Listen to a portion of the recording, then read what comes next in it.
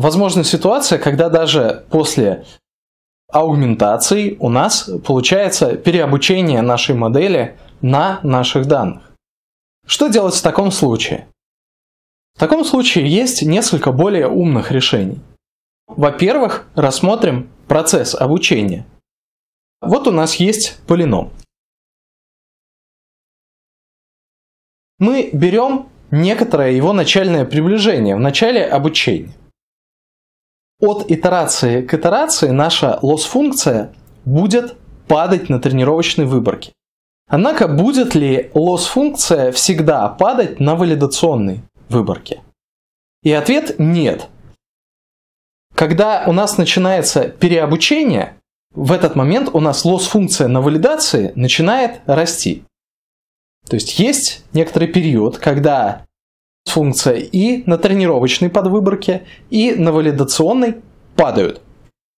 Затем наступает момент, когда лосс-функция на тренировочной подвыборке начинает падать быстрее, чем на валидационной. И в какой-то момент лосс-функция на валидационной подвыборке начинает расти. Это сигнал, что мы начинаем переобучаться. Как это выглядит на графиках? Вот у нас начальное приближение нашего полинома.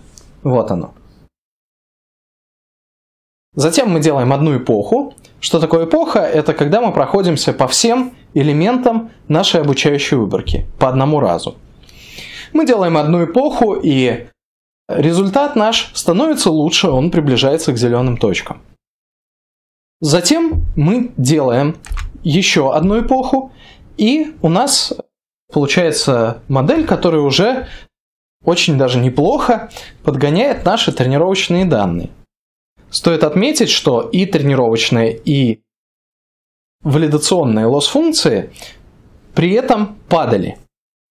Далее мы делаем еще одну эпоху, и у нас получается такая ситуация, когда у нас еще лучше лосс-функции и на тренировочном подмножестве, и на валидационном.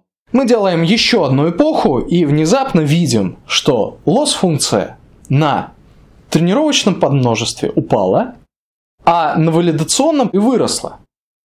И вот в этот момент имеет смысл остановить обучение. Этот подход называется early stopping. Это не совсем регуляризация, но это один из способов преодолеть проблему переобучения. Как можно делать stopping немножко более умно. Можно делать обучение на протяжении достаточно большого количества эпох. Однако в конце выбирать такую модель, которая давала минимальную лосс-функцию на валидации.